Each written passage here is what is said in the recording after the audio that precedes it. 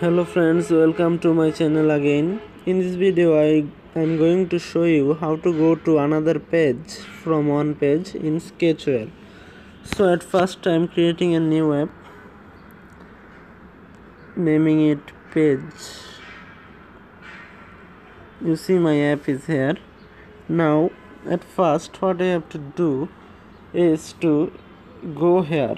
Here you see main.xml I am tapping in plus giving a view name uh, naming a new.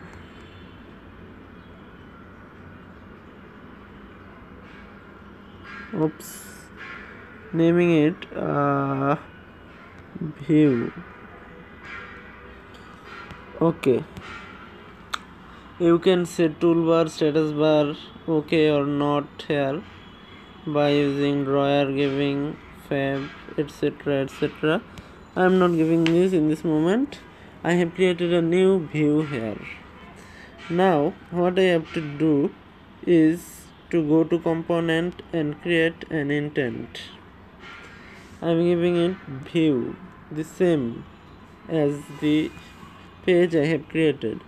Now I am giving a LinearH for decoration. Match parent now, now I am going to give a button and name I am naming it that um, uh, new page. New page. Save. Now I am going to on click event on click now I am going to um, component. Here you see some intent here now set intent set screen.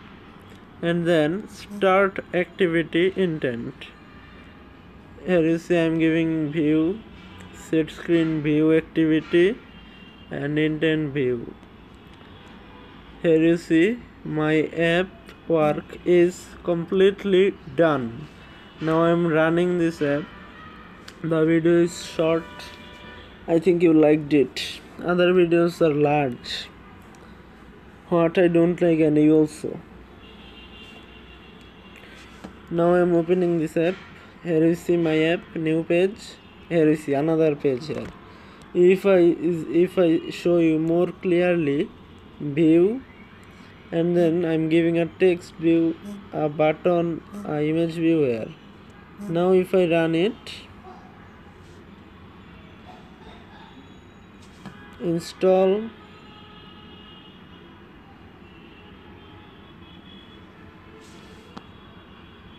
open new page here you see all the things are created here you can uh, after that after clicking this button going to another page you can set by this by this same step. In uh, only go to component and make a make a intent. And then after after on click you will set the intent like my video.